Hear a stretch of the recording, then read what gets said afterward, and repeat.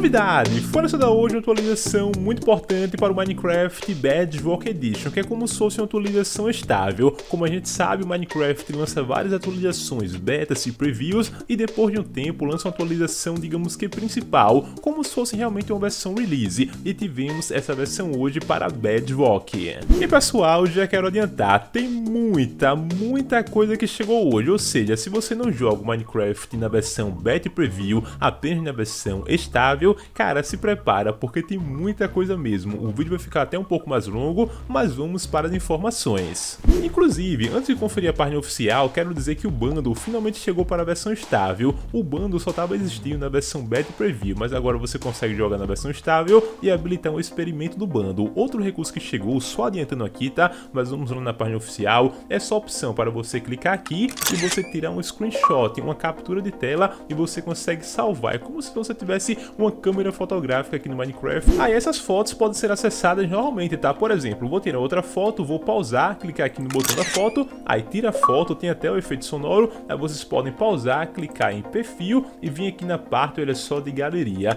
Ao clicar aqui, vai aparecer as fotos que vocês tiraram, tá legal? Eu tirei essa agora há pouco e tirei essa agora. E aqui tem algumas outras que eu já tinha testado antes. Mas bem, sem mais delongas, agora vamos conferir a página oficial. Vamos lá. E também, pessoal, mudei de tela e agora estou aqui nessa página oficial onde temos essa nova atualização que é Minecraft 1.21.30 para Bedrock Edition, tá legal? Olha só o tamanho da página, tô aqui rolando e galera, é impressionante, tem muitas, muitas informações, tá? Tô rolando a página ainda, tem vários detalhes e claro, não vou ler tudo, mas vou pontuar aqui aquelas informações mais importantes porque tem muita coisa, cara, olha só para isso, tem essa parte mais técnica aqui, tá legal? Tem várias correções de bugs, ajustes e vários detalhes, vários detalhes mesmo. E também traduzir aqui a página, temos aqui essa imagem que tenta representar algumas das mudanças que chegaram hoje, tá? E aqui tem a introdução do texto. Na changelog desta semana, os aldeões finalmente podem dormir profundamente, as raposas estão ganhando mais corações e temos pacotes de informações é sobre pacotes no caso é bundle, tá legal? É que agora estão disponíveis como recurso experimental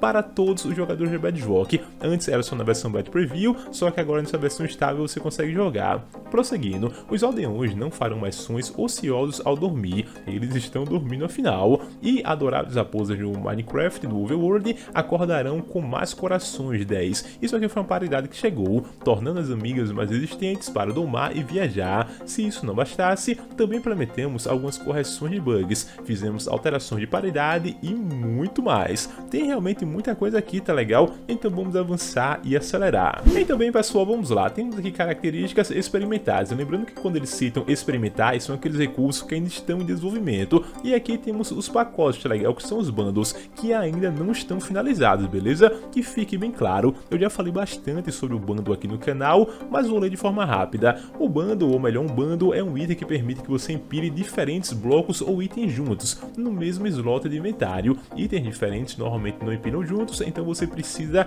é, acabar desperdiçando espaço, é, tendo apenas alguns itens em cada slot. Basicamente o bundle é digamos que um recurso que vai permitir que você guarde vários itens empilháveis, tá? Tem que ser empilhável, se não for não vai dar certo. Eu vou mostrar isso para vocês, tá legal? É, dentro do jogo, é que eles falam que os bundles são recurso experimental, tá legal? Aí para acessar a gente tem que ir naquela parte de criação de mundo e ativar o experimento do bundle. Aqui fala que os bundles ainda estão sendo aprimorados, ou seja, eles podem ter alguns problemas. E aqui abaixo tem mais informações sobre os bundles, mas eu já falei bastante sobre eles aqui nessas versões é, betas e previews que saíram, tá legal? Então não vou detalhar muito isso aqui. Bom, saindo da parte de experimentos, temos aqui recursos de correção de bugs, onde temos aqui o tópico de blocos. Aí tivemos várias correções tá, que aconteceram, só que teve algumas que foram relacionadas às cercas, que são essas aqui, olha só que interessante. Aqui fala que as algas, as kelps, não podem ser mais colocadas em nenhum tipo de cerca, porque parece que estava sendo possível colocar em algumas, só que agora em mais nenhuma. Além aqui das algas, as ervas marinhas, tá legal? Também não podem ser colocadas em mais nenhum tipo de cercas e também os ovos de tartarugas também não podem ser colocados mais em nenhuma cerca, beleza? Bom, e aqui debaixo tem mais informações sobre os blocos, tá legal? Alguns detalhes, como por exemplo aqui, o tempo de destruição de alguns que foi alterado, tá legal? Como a Sandstone, temos aqui aquele tijolo Sandstone também tiveram tempo de destruição alterado, tivemos várias mudanças assim nesse aspecto, tá? Que vocês podem tu conferir tudo isso aqui, não quero detalhar detalhar muito, quero conferir as partes mais importantes, só que aqui tem algo bem importante que eu queria ressaltar, que é sobre os fogos de artifício. Olha só que é dito, ao criar um fogo de artifício, adicionar ou remover itens da grade, atualizará o item de saída adequadamente. Basicamente, quando as pessoas estavam fazendo os fogos para voar com Elytra, quando colocavam mais pólvora, às vezes acaba aparecendo, ou às vezes acaba fazendo na realidade, é um fogos nível 1, ou na realidade poderia ser um nível maior. Estava acontecendo bug na criação, só que isso foi corrigido. Bom, prosseguindo, agora temos aqui o tópico de jogabilidade, onde temos algumas correções e ajustes. Uma delas é essa aqui, agora a garrafa sinistra com níveis mais baixos ainda pode aplicar o efeito mó presságio de nível mais baixo se o jogador tiver uma ativa antes. Prosseguindo, isso aqui foi uma correção importante, olha só, os barcos não desaparecem mais ao deslizar no gelo. Se você estivesse usando embarcação e se movendo em algum bioma congelado, por exemplo, que tinha gelo, o que acontecia? O barco poderia desaparecer e depois reaparecer, era um problema, isso aqui foi corrigido, tá legal? Outro problema bem curioso foi esse aqui, quando você estava, olha só, no montaria como no cavalo, você acabava, digamos que descendo a montaria, você ficava dentro do solo em algumas plataformas. Deixa eu até mostrar isso aqui.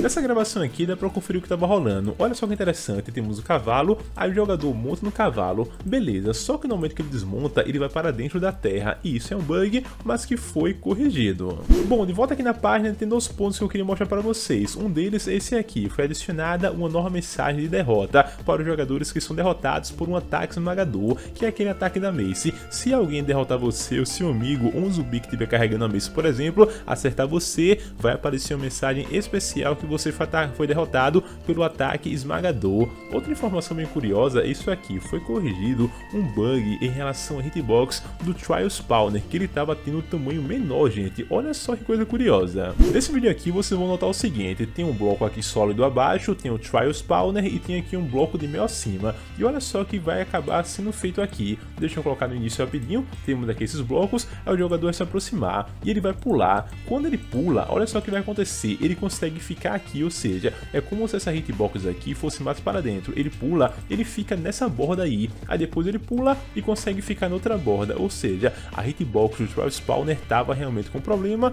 mas foi corrigido. Bom, de volta aqui na página, temos aqui o tópico de gráfico, onde temos algo bem interessante, que foi essa correção aqui em relação aos banners que não estavam sendo renderizados de forma correta quando estavam antes de outros objetos, tá legal? Transparentes, independente de sua posição. E aqui temos algumas imagens que mostram isso, tá legal? O banner tá atrás de um bloco de vidro, mas é como se ele estivesse na frente. Esse bug já tem sido corrigido, aqui tem outro exemplo em relação ao portal, esse bug já tem sido corrigido na versão beta preview e foi corrigido hoje na versão estável. Olha só que interessante, cara, como o banner tava ficando. Bom, prosseguindo, agora eu vou dar uma acelerada porque senão eu vou ficar lendo muito. Nesse tópico aqui temos o seguinte, olha só, foram adicionadas texturas de itens exclusivas para cada item padrão de banner e eu vou mostrar isso dentro do jogo, tem uma novidade bem legal e tem um outro ponto que foi bem interessante, o Idas Banner foi renomeado para Omnibus Banner para corresponder a Java Edition, ou seja, foi uma paridade. Bom, prosseguindo em acelerado, temos aqui o tópico de mobs, onde temos quatro correções bem importantes, uma delas é essa aqui, o nome da identidade personalizada corrigido, não aparecendo corretamente em mensagem de morte, e não o que significa isso. Olha só, basicamente quando você é derrotado por uma criatura, aparecia que você foi derrotado, só que ao invés de aparecer o nome da criatura, aparecia o código dessa forma aqui,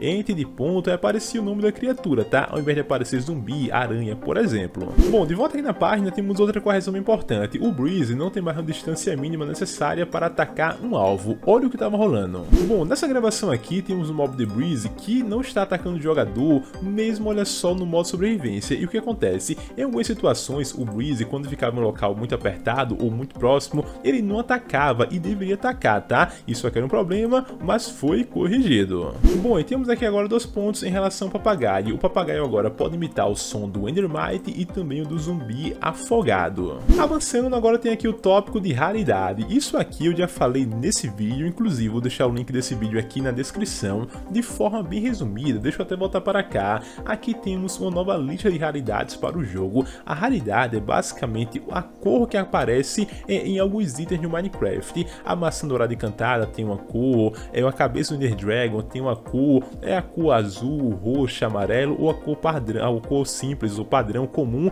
que é a cor branca. Assistam esse vídeo que vai ficar melhor para vocês entenderem, tá? Mas basicamente de volta aqui novamente, o que temos é uma nova organização de itens raros. Basicamente temos aqui os itens épicos, que são, que são os itens de cor magenta, aí temos a Elytra, a cabeça do Ender Dragon, temos aqui um daqueles modelos de ferraria, temos aqui a, a relação atualizada de vários itens, mas se eu for ler tudo isso aqui vai ficar muito repetitivo, então assistam a esse vídeo, será bem mais objetivo, beleza? Link na descrição. Bom, prosseguindo, temos aqui agora a parte de paridade de baunilha, lembrando que paridade é aquele esforço para deixar Java e Bedrock semelhantes, tá? Bem parecidas. Aí tivemos aqui algumas coisas foram ajustadas, por exemplo, os golems de neve com poção de resistência ao fogo não sofrem mais dano em biomas quentes. Quando ele tem essa poção aqui, o efeito, ele não deve sofrer dano, só que tá sofrendo, aí foi corrigido, tá? Aí temos aqui vários outros ajustes, só que eu não vou querer ficar muito essa parte, até porque eu já falei muito sobre isso aqui nas versões betas e previews. Tem um detalhe que eu queria ressaltar que é isso, os nomes de muitos itens e blocos foram trazidos à paridade com a Java Edition. Aí, por exemplo, alguns nomes aqui de itens na Bedrock mudaram, a neve agora é chamado de bloco de neve, o topo de neve, que é aquela camarinha de neve, agora é chamado sol de neve, a grama é chamada de grama curta, lembrando que é traduzido, tá? Só que vocês vão encontrar essa tradução aí, ou melhor, vão encontrar essa diferença no idioma inglês. E pelo que eu entendi aqui, para quem joga com a versão em português também. Então tivemos vários nomes ajustados e várias outras paridades. E bom pessoal, além disso, tem aqui uma parte técnica, só que essa parte aqui eu não vou falar aqui, senão o vídeo vai ficar muito longo, mas claro, eu vou deixar o link dessa página aqui na descrição e tem várias outras informações que eu acabei não detalhando, mas que vocês podem conferir, beleza? Eu vou deixar o link aqui na descrição. E bom pessoal, de volta aqui no Minecraft, como podemos conferir, a atualização de hoje foi muito importante. Inclusive, eu reuni aqui em um local alguns problemas que estavam acontecendo, tá? Tem aqui aquele bug em relação ao bot, agora o bot não está mais aparecendo como estava antes. Quando você está aqui em um local de gelo, tá dessa forma, ele não desaparece mais, ou seja, bug corrigido. Vamos vir aqui rapidinho, temos aquele problema em relação a hitbox aqui do Trial Spawner. Antes, quando você pulava, você ficava num borda aqui se fosse de um pixel, mais ou menos dessa forma, só que agora você não fica mais. Foi corrigido dessa questão aqui. Outra novidade que temos é o desenho aqui para os banners. Agora, se você vir no menu criativo e digitar banner, temos aqui, olha só, o design, digamos que as figuras para representar cada banner. Isso acaba sendo ótimo. Inclusive, percebam que aqui o banner, o nome está escrito com azul, já aqui a cor branca e já aqui tem o que tem a cor, deixa eu ver, amarela. Ou seja, agora temos aqui a nova raridade de itens, mas como já falei, confira aquele vídeo que eu vou deixar aqui na descrição. Bom, prosseguindo, tivemos aquela correção que agora os ovos aqui de tartaruga não podem ficar acima de cerca, nem algas, nem ervas marinhas, tá legal? Ou seja, foi corrigido. Tivemos aqui a correção também em relação ao cavalo e montarias. Agora, quando você tiver aqui, olha só, correndo com um cavalo, por exemplo, e você descer dele, você desmontar, você não vai ficar mais dentro do bloco. Você descia e ficava dessa altura, tá? Só que isso foi corrigido. Cara, foram tantas correções, agora os banners são renderizados de forma correta através de itens transparentes, como aqui os vidros e também o portal. E deixa eu conferir o que falta aqui. Ah, eu vou falar aqui, pessoal, sobre o bando. O que acaba acontecendo? O bando foi finalmente adicionado nessa versão estável de hoje, só que tem um detalhe, para você guardar itens no bando, é preciso que você entenda que é preciso ter itens empilháveis, ou seja, itens que se acumulem. Por exemplo, deixa eu tirar aqui uma quantidade, você consegue guardar aqui as cenouras, dessa forma, você consegue guardar aqui, olha só, o laço, você consegue guardar aqui é, tábuas, enfim, vários tipos de itens, mas se você for tentar guardar um item não empilhável, será apenas um, ou seja, deixa eu até pegar aqui rapidinho, se você for pegar aqui uma espada, por exemplo, e você quiser colocar aqui a espada, ela fica cheia, ou seja, o bando fica cheio, portanto, usem sempre o bando para aproveitar ao máximo com itens empilháveis, ou seja, itens que vão até 64 acumulados. Ah, e antes que eu esqueça, tem também aquela correção em relação aos fogos de artifício, basicamente agora quando você colocar um papel e colocar uma pólvora, vai aparecer por padrão aqui o fogo de nível 1, tá legal? Duração 1, só que se você colocar mais pólvora, vai aparecer aqui o nível 2 e se colocar três pólvoras vai aparecer o nível 3. E o problema é que antes, quando você estava colocando, por exemplo, duas ou três pólvoras, você estava fazendo o nível 1, tá? Ou seja, era um bug, mas agora foi, vai, o melhor, foi corrigido. O fogos feito será correspondente à quantidade de pólvoras que você colocou, tá? Lá na criação, ou seja, craft corrigido. Bom, eu tô só resumindo aqui para vocês, tá? Só que teve várias outras coisas. E um daqueles outros destaques em relação à câmera que eu já mostrei no início, baixa pausar, tá legal? E clicar aqui nesse ícone da câmera que você vai tirar um screenshot, um print, uma foto, aí para conferir basta clicar em perfil e vir aqui na parte de galeria, beleza? O que você tirou, o que você registrou, fica salvo aqui e acaba sendo um recurso bem prático. Além disso, como falei para você, tivemos várias, várias paridades, várias correções de bugs, ou seja, agora é atualizar e aproveitar. E bom pessoal, esse que foi o vídeo e eu espero que vocês tenham gostado. Se gostaram, deixa aquele like. Se não é inscrito no canal, clique em inscrever-se e também ative o sininho para receber as nossas atualizações. Eu vou nessa, até o próximo vídeo, falou!